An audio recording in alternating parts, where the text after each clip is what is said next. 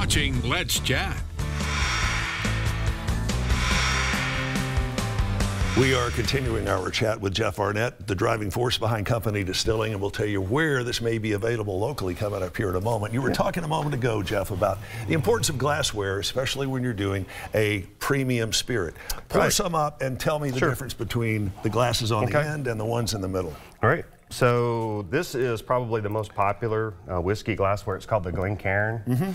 Um, and this is sort of its you know newer counterpart, and it's called the Neat glass. But if you look at um, the science behind you know what they're doing here, Right. So um, both both of these glasses are designed so that you have uh, a larger surface area. So basically, what that's going to allow, it also has a shape that is conducive where you can kind of swirl them around, Right. Kind of agitate them and get some of the volatiles up on them without spilling.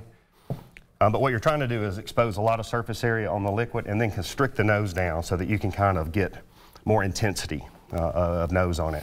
It works. Yeah, it absolutely does. You know, this one has a little bit more of an awkward lip on it. I, I'm, I'm most conditioned to, to working out of the Glencairn glassware myself, uh, but Right. that's a great glass as well. Right, when you're when you're tasting this and grading whiskeys, you always spit it out. What is the purpose behind that? Well, if you're if you're doing a lot of different whiskey samples, uh, you'll get carryover. Mm-hmm. So what you don't want is if you basically if you swallow something, it's going to have some residual Right. impact. So it can actually color how you view the next sample. The following so sample. yeah, so if you rinse it around and spit it out, um, then you can kind of uh, minimize the carryover. Uh, that's an important part of being able to evaluate individual samples, especially when they're really different. So Yes, he even brought a bucket. Wow, that is um That's a 90 proof. Uh, this is a wheated bourbon. Mm-hmm. Uh, you know, I chose wheated because rye, rye is a little bit more of a polarizing Right. uh, characteristic of you flavor. You either love rye or you Don't. Yeah, stand they're, it. yeah. It's, it's sort of like a love it or hate it Right. instead of a love it or like it. You know, when uh, all bourbons are going to be high in corn, and corn, I think sweet notes are tend to be a, a, a love it or like it. Yeah. Uh, not a lot of people hate it. Uh, but with wheat, I just felt like it was a little bit safer from the standpoint of having a broader appeal. Uh, so there are brands that feature um, wheat uh, in the recipe. They all uh, are pretty well thought of brands. Sure. Which, so you know, you're going to kind of look at ones in the market that you're like, you know, I would like.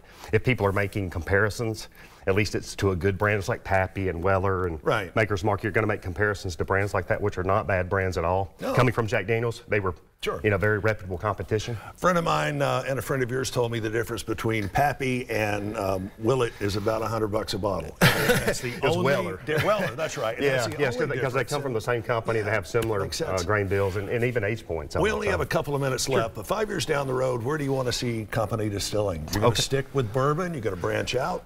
So um, we are company, uh, and actually we're going to be more. The, the, the bourbon is our flagship Right. uh, right now, but uh, we're going to be doing gin, vodka, flavored spirits. So we're going to be a full line uh, spirits company. So uh, in addition to the two um, places that we have over in East Tennessee, we have actually merged.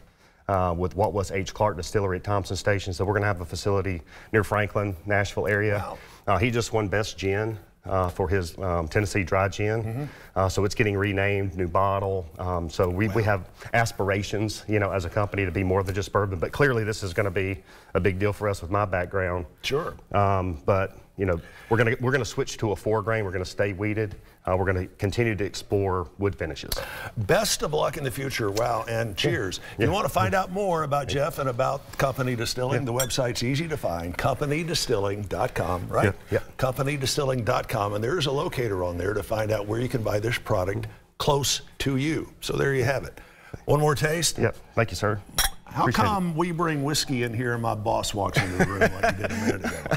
I'm not sure why. Yep. Anyway, uh, Jeff, always a pleasure. Good to see you. Again, let me Pleasure's suggest mine. you check out the website, companydistilling.com, companydistilling.com. Jeff, next time you're here, I'm going to ask you what your wife said when you walked home and went, honey, I'm quitting as the master distiller for my current company.